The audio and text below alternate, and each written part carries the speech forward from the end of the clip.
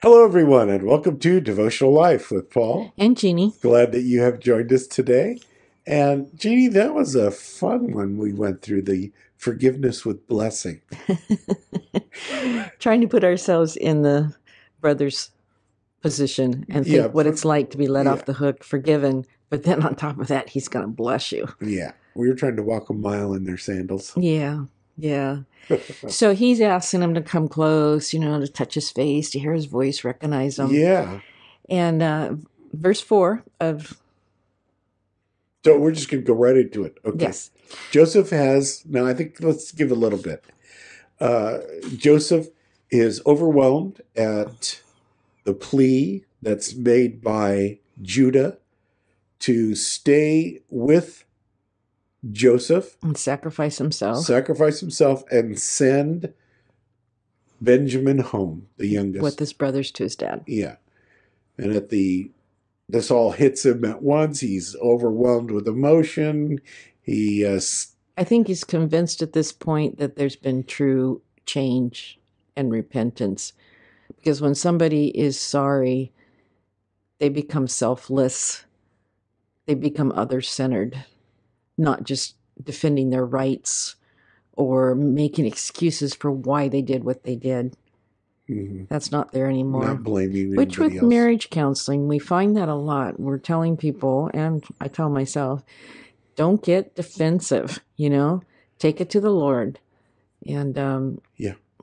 Let Him sift through it. But don't just shoot it back or you go the tit for tat, the tit for tat, and you go into this crazy cycle. But so, he, but she, but he, yeah. but she. And that gets nowhere. who's worse than others and, Right. you know, whatever. Lord So, um, verse 4 And Joseph said to his brothers, Please come near to me. So they came near, and he said, I am Joseph again. Whom you, now he says, Whom you sold into Egypt. Wow. Now, this is the clincher of the whole Yeah. story. And Here it just, yeah, Let your ears. it's one of up. those moments that you just gotta go, ah. And he says to them, But now, do not therefore be grieved or angry with yourselves. What grace! I know he's an amazing guy, Joseph. He sure is. Don't be grieved or angry with yourself because you sold me here. For God sent me before you to preserve life. For these two years the famine has been in the land, and there's still five more years which there will be neither plowing nor harvesting. And God hmm. sent me before you to preserve a posterity for you in the hmm. earth, and to save your lives by a great deliverance. Wow. So now it was not you who sent me here, but God. And he has made me a father to Pharaoh and the Lord of all this house and ruler throughout all the land of Egypt. My goodness. That's mind blowing there. You wonder when Joseph finally got this whole picture and realized this. I mean, was it right then at that moment or was it accumulating? but what are they thinking when they're listening to this, you know? Um, I don't know, just gives me chills to think that you could go through such suffering. And as we've talked about many times, he, he kept giving it to the Lord, kept giving it to the Lord, kept Yeah. giving it to the Lord. And he felt trapped in those days. He didn't know what was around the corner. And now he has the privilege of looking back, which happens to us as we look back over our life. And he's able to see the big picture, which we're really going to have happen when we get to heaven. Yes. We're going to have a lot of questions answered there that we don't get to see now. Yes. Now he says to them, I am Joseph, whom you sold into slavery. Right. I think at that point, they might be quaking. They're still not quite sure hmm what's going to happen. So he fills that in with, you know, don't be angry at yourself. Don't, So they must have had that look on their face. And Like- don't be grieved and don't be angry at yourself. yeah. Right. So they were getting it. Yes. They, they were just scared. They they had the conviction come on them. So he's he's comforting them. yeah. He's actually the one who's comforting them. Yeah, interesting. I want you to think for a moment of the nation of Israel. Jesus, uh, it, it says in the Word of God in John chapter 1, he came to his own, and his own did not receive him. So we all know that the picture all through the Gospels and the Old Testament as well is them his brothers turning their backs on him. So Joseph is very much a type of Christ.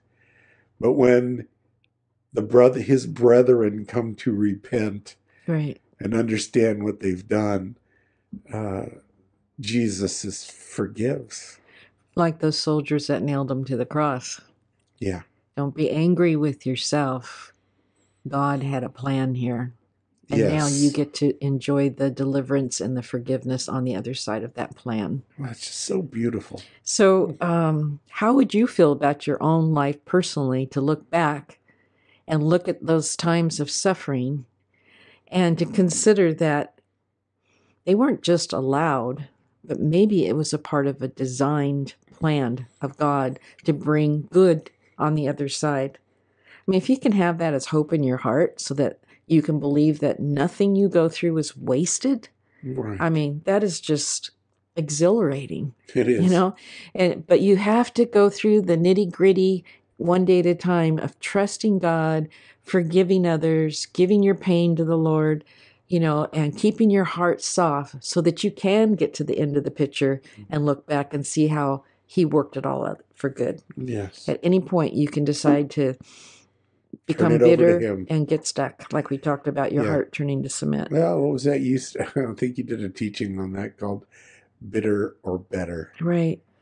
So that's all connected to our hope in God. And He doesn't leave us alone and He's got a bigger picture. I know that. I've told that to my kids, my grandkids. God has a plan.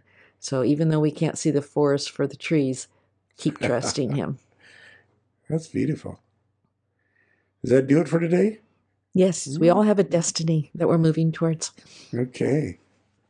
Destiny up ahead. Next stop. Heavenly Father, thank you so much for today and for allowing us to spend this time in the Word with our brothers and sisters, Lord. I thank you, Jesus, that when we come to you, repentant, knowing what we have done, that what you do is forgive us. In fact, Father, forgive us right now of our sins. Call us in close to you. We put our faith in Jesus, who died for our sins and rose from the dead. Bless my brothers and sisters, encourage their hearts and lives today. For we pray these things in Jesus' wonderful name. And everyone says, Amen. God bless you. We'll see you soon.